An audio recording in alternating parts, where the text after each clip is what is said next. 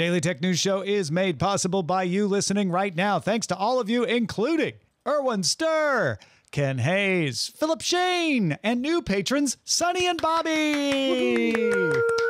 Welcome, Sonny. Welcome, Bobby. On this episode of DTNS, Google will not be broken up, and the Department of Justice hasn't even asked for that yet. Wimbledon will replace humans with AI, and why Nobel Prizes are all going to AI scientists, and they should. This is the Daily Tech News for Wednesday, October 9th, 2024. In Los Angeles, I'm Tom Merritt. In Salt Lake City, I'm not Sarah Lane. I am Scott Johnson. And I am the show's producer, Roger Chang. It's a weird week. I was off on Tuesday. Sarah and Rob did the show. Uh, Sarah's off uh, traveling for the rest of this week. And so today it's me and Scott. Tomorrow it'll be me and Rob. Uh, but don't worry, everything's fine. Everyone will reconvene uh, back together. Just a little travel, a little stuff going on, a little my dog getting neutered, you know. Oh. It's important stuff, all of Yeah, those things, all including the last one. things. Yeah. Poor guy. Uh, he'll come back a changed dog. Uh, meanwhile, we start with the quick hits. HBO released a documentary called Money Electric The Bitcoin Mystery. It is the latest effort to try to figure out who created Bitcoin. We all know that Satoshi Nakamoto created Bitcoin, but nobody has been able to figure out who Satoshi Nakamoto was. Uh, the documentary uses circumstantial evidence to suggest that a Canadian software developer named Peter Todd was Satoshi Nakamoto. Uh, Todd's a likely a suspect as any, uh, would possibly have the skills. Uh, Todd is an applied cryptography consultant based in Toronto. Uh, the white paper for Bitcoin was published in 2008. Todd was active back then. There's a lot of other evidence in the documentary. Uh, the network went online in 2009, and Nakamoto has not posted publicly since 2011 also holds Bitcoin wallets worth $62.4 billion. So whoever is Nakamoto is very rich. Todd says, not me. Although they got everyone in the documentary to look at the camera and say, I am Satoshi Nakamoto. So they have him on tape saying that, but it's because they got everyone they interviewed to say that. And he says, I just said that for the gimmick. It's not me. Wow, it's like that movie where everybody's uh, uh, the guy in the desert. Yeah, yeah, no, it's all Eminem. Uh, also, let's talk about this. The governments of Turkey and Russia have ordered internet providers to block access to Discord in their countries. Yeah, that's right. Russia said the block was due to violations of legislation meant to prevent, quote, the use of the messenger for terrorist and extremist purposes, the recruitment of citizens for their commission, the sale of drugs in connection with the placement of illegal information, unquote. Supposedly, Discord has not entered into conversation with Russian authorities about these accusations. In Turkey, Discord has reportedly blocked following a case, or it has been blocked following a case involving child abuse and obscenity content allegedly hosted on the Discord platform. Brazilian Supreme Court Justice Alexander de Moraes ordered regulators to take steps to allow Brazilians to get access to X.com after a five week blockage. The order came after X agreed to take down some user accounts, pay fines, and appoint a legal representative in Brazil. If you recall, five weeks ago, the block was put in place because X would not agree to take down some user accounts, pay fines, or appoint a legal representative in Brazil. So they just caved. Uh, the person who was named their legal representative today or, or earlier this week was their legal representative five weeks ago. Uh, and then she resigned. Uh, and that's when they said, well, we're not going to appoint a new one. Apparently, according to the Associated Press, the new contract with her specifies that she, quote, must follow Brazilian law and court decisions, and that any legal responsibility she assumes on X's behalf requires prior instruction from the company in writing, according to the company's filing. Uh, this appears to be a way of shielding her from liability if X tries to get her to do something that is against Brazilian law. I don't blame her. Last month, mysterious Nintendo hardware showed up in the US FCC public filings and had mmWave sensors and Wi Fi. Tuesday, Nintendo announced new hardware, but no, it's not the new Switch, as you were all hoping, as I was hoping. It's a motion controlled alarm clock called Alarmo. Yeah, you heard me. Uh, you can snooze it with a gesture, and that's why it has a two, uh, 24 gigahertz MM uh, wave sensor. It comes with 35, uh, 35 audio scenes from Breath of the Wild, Pikmin 4, Splatoon 3, Super Mario Galaxy, and the Ring Fit Adventure game uh, from Animal Crossing, New Horizons, and Mario Kart 8. That's part of why it has Wi Fi. Uh, even includes some sleeping tracking to see how much you move around in your sleep. It costs $99.95 in US dollars and will be available in early 2025. Alarmo.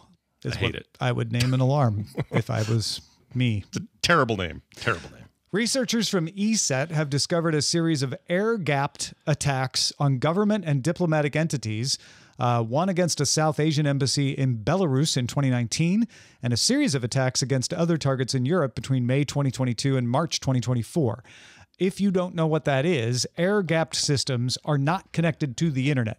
They are surrounded by air, not Ethernet, uh, and don't have Wi Fi. The idea is you can't get them get to them over the internet. So you have to employ a human to go act as an agent or trick a human into plugging a USB drive into the air gap system to steal the data, and then get that same human to plug that same USB drive into an internet connected system so you can deliver the data.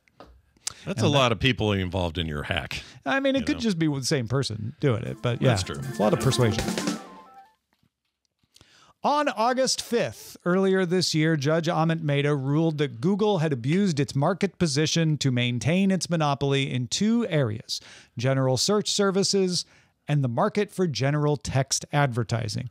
Didn't find him guilty of a lot of other things, but those two things it said look, you can be a monopoly, you just can't use that position to keep out competitors, and you were doing that in those two areas.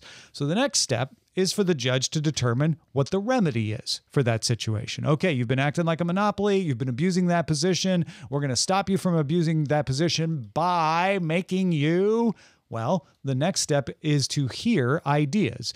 Google can give ideas like, okay, you could try making us do this. Maybe that will remedy it. They're going to try to give the least impactful ideas.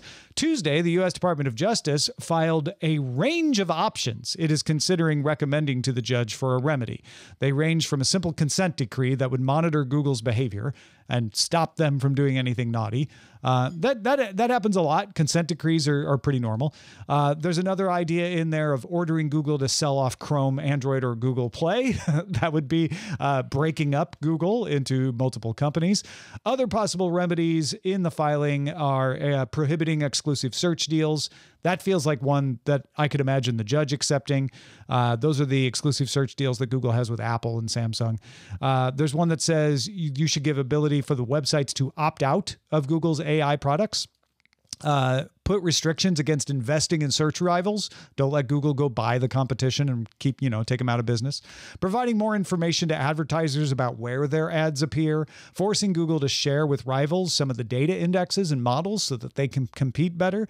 Uh, and an, even an educational awareness campaign just to inform people hey other search engines exist making make, making google pay for that uh, the judge does not have to follow any of these recommendations but will consider them and can choose for them if he if he wishes uh, and this isn't the final filing. This is the DOJ saying these are the four areas in which we are considering options. They have until November 20th to decide the specific fix that it prefers. So they could pick more than one of these, but but there will be a further filing that's the DOJ actually asking the judge do this. These are just ideas to kind of plant in the judge's head. A 2-week remedies hearing to hear both an argument for these ideas and Google's ideas will take place next April. So even after November 20th, we're not going to get the argument in front of the judge about what the remedy should be until April. And then after that hearing, the judge gave himself until August to decide what the remedy will be. So we're not even going to hear what this remedy is until at the earliest, sometime mid next year. He can decide before August, but a lot of times they take the full time. Once that's done, Google's going to appeal whatever the judge says.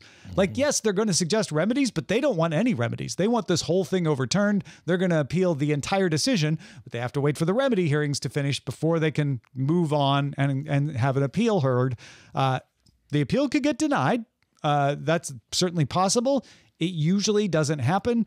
So I feel comfortable saying, Scott, none of this is going to happen anytime soon. Yeah, every time this story like this comes out, or we start talking about just Google and their size and anti-competitive behavior, and various justice departments around the world making saber rattle noises, it almost always comes down to this is a process, and you don't do it overnight, and you're not going to suddenly wake up in 2025 in January and go, "Oh man, there are now 12 companies that used to be Google. What are we doing now?" That's not going to happen. Um, what could happen, I suppose, in the long run, and I by long run I mean long um, is that they do lose the appeal. And then I think they have a recourse to do other kinds of appeals, and maybe they lose those too. And maybe there is a future in 2035 where Google doesn't own everything anymore or it's been broken up. Um, but I don't think that's coming anytime soon. But it is interesting, right? Like if, when they come to those hearings, I'd love to hear what Google's ideas are.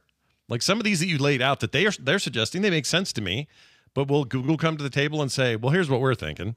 We're going to do X, Y, and Z, and it's going to change everybody forever, and it's going to be awesome. I just kind of want to hear what that is. Yeah. What Google's going to do is look at what the judge was saying, find the arguments that are the least impactful, and try to get the judge to accept probably something like a consent decree. Like, yeah. yeah. we should we should do a few things to make sure we're not abusing our position. These are the things, and put a consent decree in, and we'll agree not to do them. Uh, something very minimal in case they get their appeal denied, or in case they lose on appeal. They they want to set the bar as low as possible. Uh, chances are the judge will not go with Google's recommendation either. They'll they'll go somewhere up. I'm still I don't know why. My instinct is that the judge is going to say uh, Google is not allowed to have these exclusive search agreements anymore as one of the remedies. I doubt that he's going to require Google to sell off Chrome, Android, or, or Google Play. Uh, not even one of them. Uh, I think that remedy is probably too extreme for this judge, but I don't know. We'll see. We'll see if yep. the Department of Justice even recommends that one. They put it in this filing, but they they may not end up putting it in their specific filing. Yep. Uh, do you play tennis, Scott? No, but I used to. When do you watch tennis? Um, occasionally, when I remember to do it, when there's like a big thing, a Wimbledon or something like on, Wimbledon, I'll try to. Yeah, yeah. Right. I like video. I like uh, tennis video games a lot. And Wimbledon is in the summer, so sometimes you've got a little little more flexible schedule to to watch things. Uh, do you know the All England Club that operates the Wimbledon? No, this is news to me. All England Club is the is is the the club that operates Wimbledon, the uh, the ten, All England Tennis Championship, which is a world tennis. It's one of the big four. It's one of the Grand Slam events. Uh, they announced Wednesday that this coming year, the All England Club will use live electronic line calling Whoa. to make out and fault calls at the Wimbledon Championships. No more line judges. They wow. tested the system during the 2024 tournament this past summer, but they still had the, the line judges there, the, the actual humans there, and you, and the the test system was to kind of see how well it worked. Apparently, it worked great. Uh, they All England Club considers it sufficiently robust.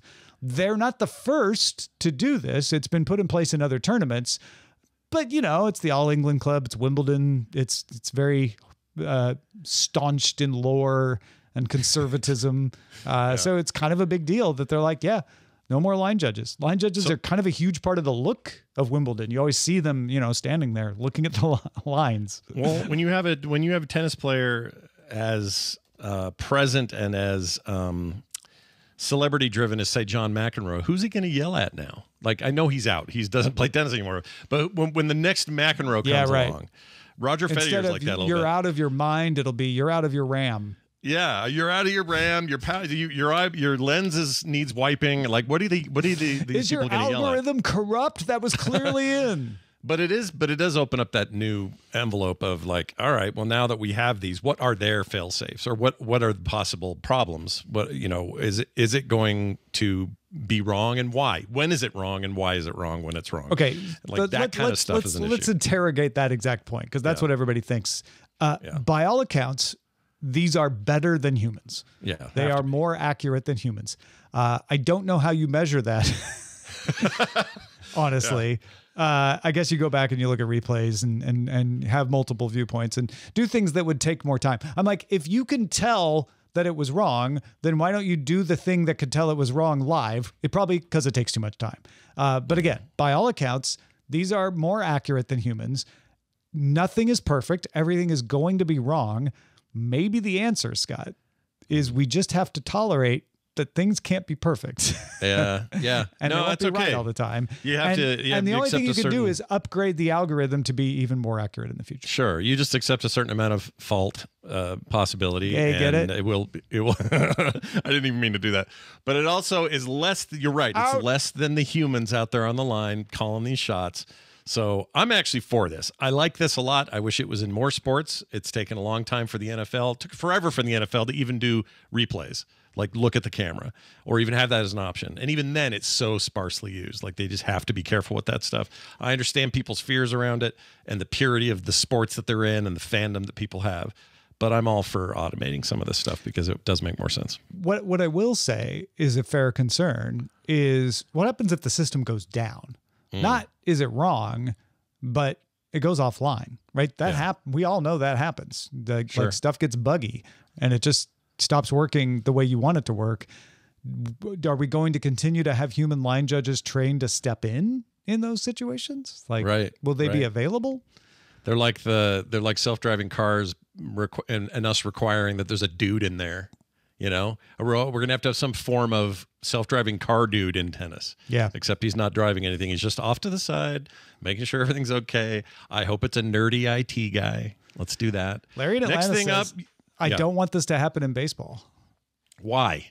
Why That's, not? that's always my question. It took decades for them to use instant replay in sports. Yeah. Uh, and there was a lot of grousing and there were a lot of like not great implementations of how it worked, but I think everybody agrees it has made the sport better and they figured out how to keep it from, you know, totally derailing a game and and delaying it. Uh, Mm-hmm. If the computer is better at the thing, then I want that. Like, Yeah. I I would much rather a computer had said, "No, Don Denkinger is wrong. Uh, that man is out in the 1985 World Series," instead of what we have now, which is a picture clearly showing the ball beating the runner. But hey, we trusted the humans. That's the way the game goes. Like, I Yeah. I, I don't know. I I think. Yes, arguing with the ump is part of the game, Larry is saying. Uh, but is it the best part of the game? And do you think this will stop them arguing with the ump? Like, you can still have umpires. You're still going to have an umpire in tennis. You know, you have somebody refereeing the match. So I don't know. Yeah, my I've got a friend who has argued with me before that the reason they don't automate more stuff, saying basketball, his favorite sport is because of this very idea that somehow the refs are an integral, not just a part of the game, but an integral part of the Yeah. game, and not just for shot calling. It's for existing and being mad at them. That that's It's- part it's of the, game. It really is the. It, we've always done it this way, and I like it that way. Uh, Yeah. And and that's that, that's a legitimate basis for having your argument. But that is what that argument is. Is I like it the way it is. You know, even if it's imperfect. Fair point. Um, hey, how how is your Utah Hockey Club doing? Uh, I didn't pay attention to what the score was, but we've had our first game. Yeah, yeah. I, appa- I caught a little of it. I like the I like the very minimalist name. Yeah, they are. Cha- the, apparently, this is very temporary. Like it's There just a, re- year, right? There's yeah. a yeah, there's a real name coming. A lot of people think they're sticking with this. This was just a holdover while they work out trademark and everything. Although so, one of the names they're considering is Utah HC. I saw. I yes, I saw that as well. Yeah. I really want the mammoth or uh, something cool, so Blizzard? you can have a good mascot. Blizzard would be cool. Yeah. Yeah, yeah, yeah. That's yeah, what I and then want. you can get Microsoft to sponsor the team. uh, folks, if you would like to join in the conversation in our Discord, you can do that by linking to a Patreon account. Get your Patreon account, link it up to the Discord at patreon.com slash DTNS. University of Washington biochemist and computational biologist David Baker, those are, those are both his titles, not two different people. Uh, David Baker is the first of three winners of the Nobel Prize in Chemistry. The other two are DeepMind CEO Demis Hassabis and senior DeepMind research scientist John Jumper. Uh, they won in chemistry for their work on discovering new protein configurations and specifically the tools that they created to help discover these. Hassabis and Jumper created the open source AlphaFold 2 AI model that helped predict the structure of almost all 200 million proteins that scientists have identified. Baker created a computational protein design for a protein no one had seen before in 2003. He was able to use computer resources in order to design a never before seen protein. He's since developed several new proteins, and those proteins are even used in vaccines and sensors and more. Uh, we talked yesterday about the the two pioneers in deep learning who were given the a Nobel Prize in physics. So we now have two Nobel prizes that have been awarded to computer scientists, which raises the idea that there might need to be a Nobel Prize for computer science at some point. Uh, and in fact, Scott, Dr. D wrote us an email and said, I had the same reaction as Sarah Lane. How is AI physics. I got my physics PhD more than 35 years ago, and unless they change the field on me, physics is the study of matter, energy, space time, and their interactions. Like any other science, it is all about understanding the natural world. Nothing about artificial intelligence is the natural world. Uh, I did a little digging to kind of figure out why they gave the physics prize, but but before we get to that, let's talk about the chemistry prize. What do you think of that? Well, I don't know about you. I feel like you maybe maybe we're the same here, and I'll let you speak for yourself. But I feel like there's always been a little sense in the back of my head that one day there'd be a convergence, that technology. I mean, I'll, I'll admit it. It's based mostly on the film Alien and its sequel Aliens, where the synthetics are made of organic-like material, but they're still synthetics. They're still mm-hmm. robots, as it were. Um, but they got weird stuff running in there, and there it's not muscle fiber; Yeah. it's some other kind of fiber. Blood so of I always, milk.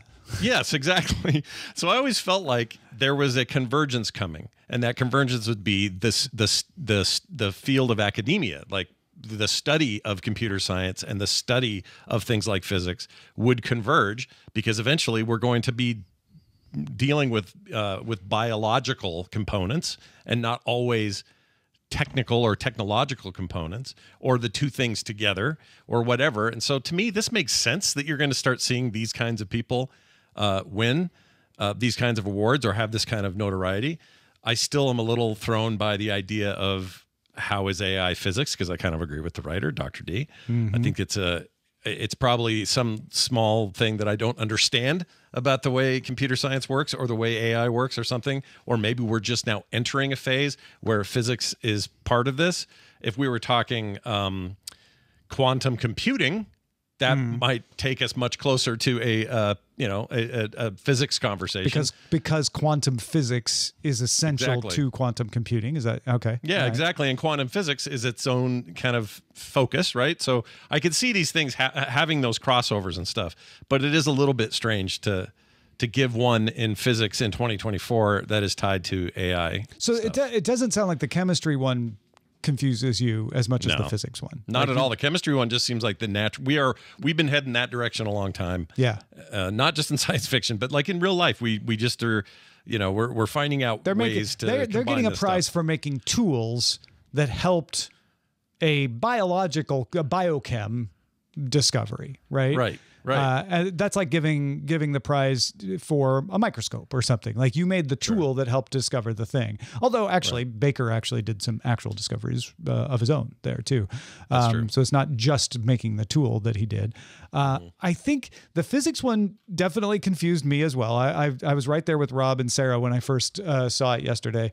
Uh, I do want to talk to Dr. Nikki about this. I'm going to follow up with her on because we we've still got more Nobel prizes to come. So once they're all out, I want to I want to do like a, an overview of all of them with Dr. Nikki. But I did some digging and uh, Nature magazine, uh, as you might have guessed, uh, has a very good article that explains what the physics connection is. Uh, and it's more direct than you might think. Uh, if I had to summarize it, it's the math. They took the equations that had been developed in physics and expanded upon them in order to figure out how to make neural networks and deep learning work. So what they're begin what they're being given the prize for is as much the expansion of the mathematics of physics, which physics and math are very intertwined, uh, as it is the actual deep learning stuff that they developed. Uh, Hopfield had a background in physics. And if you're trying to remember, Hopfield was the one that laid the foundation that Hinton built on. Uh, Hopfield had a background in physics and described the connection between virtual neurons as physical forces. Uh, I'm going to take this from Nature. Uh, Hinton, a computer scientist, used principles from statistical physics, which collectively describe systems that have too many parts to track individually, to further develop the Hopfield network. By building probabilities into a layered version of the network, he created a tool that could recognize and classify images or generate new examples, etc. So Hopfield's motivation was really physics. Uh, and he invented this model of physics to understand certain phases of matter, which then were applied to virtual neurons. Uh, and then Hinton expanded that physics. Uh, Lenka Zdeborova, a specialist in statistical physics of computation at the Swiss Federal Institute of Technology in Lausanne, said she was pleasantly surprised that the Nobel Committee recognized the importance of ideas from physics for understanding complex systems. So there was a physicist saying, I'm I'm surprised that they recognize that this is important physics that they were doing because all every, everybody thinks about is the AI part of it. Uh, and both Hopfield and Hinton, uh, according to Yoshua, Bengio, a computer scientist, said uh, have brought incredibly important ideas from physics into AI.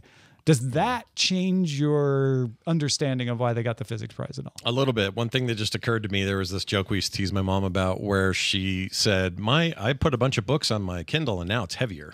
And we laughed at her. We're like, Mom, it doesn't work that way. You can't you cannot tell the difference.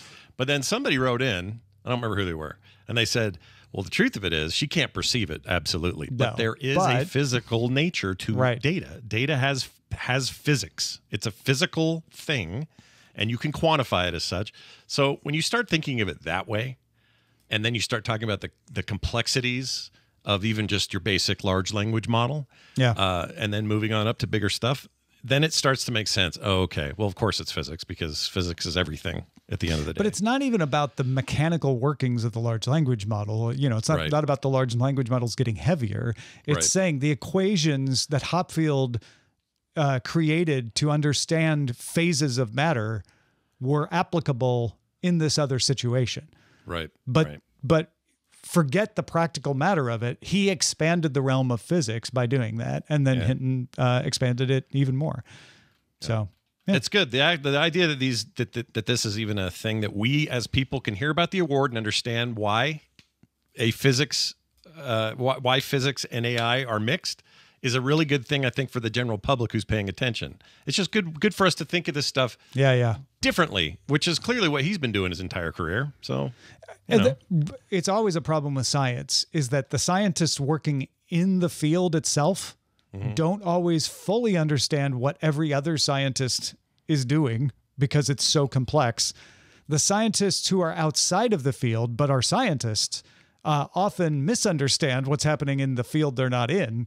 Mm-hmm. And then the rest of us are out here trying to go like, wait, how is that physics again? And the, Yeah. the physicists are like, well, it's actually it is physics and then you could be like dr d and say like i think it's too far afield too much of a stretch or you could be uh, like uh, the uh, lenka zdeborova who's like no this is important and i'm glad they're recognizing it you know there's different opinions to be had about it but uh, it's yeah it's i think a lot of us are operating with 20th century definitions here that maybe aren't up to speed because we're not Yep. Physicists that's fine yeah, time time to tweak it. Think different. all right, let's check out the mailbag. Dr. D also wanted to chime in on our discussion yesterday regarding Virginia congressional candidate Bentley Hensel, uh, who had created a chatbot version of his opponent. Uh, in order to conduct a debate because his opponent wouldn't debate him. Uh, Dr. D says the piece on Don Beyer's challenger, who intends to debate a chatbot version of Don, is especially amusing since AI is a topic that my congressman is very interested in. He's part of a bipartisan congressional AI task force, assembled a working group of AI experts, and was part of a bipartisan group in Congress that introduced a bill providing AI guidelines for federal agencies and contractors. I have to think that his challenger decided that an AI stunt would be apropos because of that. Interesting hmm. stuff. Thank you, Dr. D. Smart uh, guy, Dr. D. I like him. And thank you, Scott Johnson. You're a smart guy too. Well, Dr. D sounds like a rapper too, so I'm giving him double credit. Uh, yeah, I, I really love being here. And let me tell you something else. When I'm not here, I'm doing lots of other cool stuff over at a little site called frogpants.com. And you might say, well, what's over at frogpants.com? Is it just frogs and pants? No, it's a whole slate of podcasts. There's everything from video game stuff to film and TV, uh, popular culture, a regular morning show, just about anything your little heart desires. And we're real people, no AI involved. little hint to what to come later on the show. Uh, anyway, go check it out. That's over at frogpants.com. That's frogpants.com. That just made me think of an analogy. Oh, yeah? Video game physics. If anyone ever wins a Nobel Prize for physics in video game physics, every video gamer is going to immediately understand why. Yeah. They're going to go, No, oh, right. Mm-hmm. yeah, no, I know that's not actual physics, but it's expanding our understanding of physics. It's kind of what's going on here. Yeah, no, you're not. Except you're not wrong. It's a virtual, a virtual physics. Obviously, it's different, but It's yeah, we're gonna- expanding the math and the theories around physics, but not for, you know, space and time and all of that. Yeah, yeah, yeah, Love it. Uh, well, patrons, stick around for the extended show, Good Day Internet. We are aiming to have more and more fun on Good Day Internet, and uh, I think we're succeeding. Notebook LM knows it's AI. You might have heard the podcast episode that came out last week where they discovered this. Lots of people have been having fun with Google's Notebook LM because it simulates podcasts. So I decided to tell the Notebook LM hosts that that was a lie but one of them is an AI and the other is human. So we're going to talk about all of this. Stick around. Uh, you can catch the show live Monday through Friday, 4 p.m. Eastern, 2000 UTC. Find out more at dailytechnewsshow.com slash live. Back tomorrow with Justin Robert Young. Talk to you then.